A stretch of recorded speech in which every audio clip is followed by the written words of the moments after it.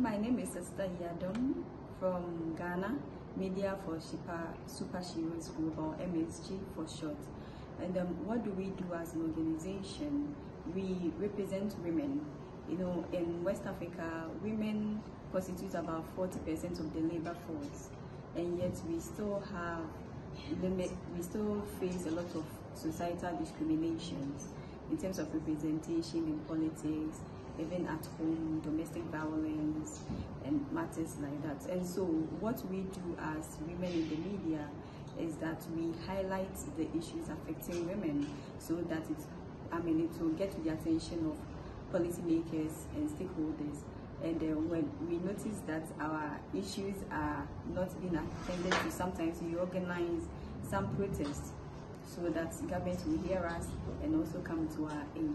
Now, what I think about this project, International Socialist League, I think that it is it's about time that we unified our struggles, not only women, not only youth, but then the working class across the globe.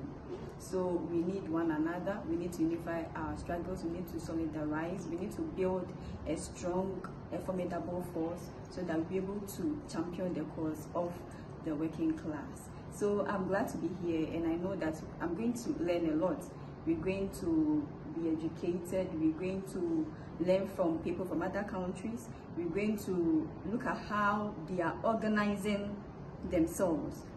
I mean, from the point of view of the International Socialist League, how they have been able to build this league so far, and what we can also pick from them, and I mean, import that same knowledge and those same skills and zeal in our jurisdictions. So I'm very glad to be here. And I know that I'll not leave here the same. Definitely, I'll learn a lot.